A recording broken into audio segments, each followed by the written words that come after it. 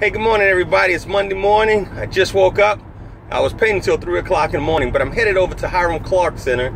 And this morning we're going to be painting with probably about 30 kids, painting with passion and purpose, painting the T. Ellis way with Ted Ellis, T. Ellis Fine Art. See you real soon, and I'll keep you posted.